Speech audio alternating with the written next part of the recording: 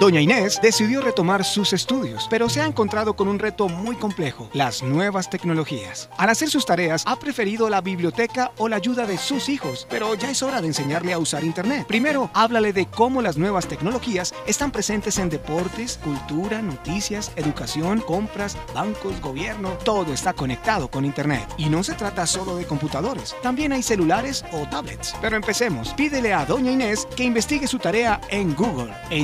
Cómo revisar los resultados indicándole las mejores alternativas y la manera de sacarles provecho. Y como necesita escribir, enséñale a usar herramientas como Word, uno de los programas más populares. También puedes ayudarle a conocer otras alternativas. Enséñale a usar tutoriales. Muéstrale las posibilidades de clases online. Recomiéndale herramientas de consulta. Y más que nada, invítala a mantener viva su curiosidad y a sumarse a nuestra Redvolución.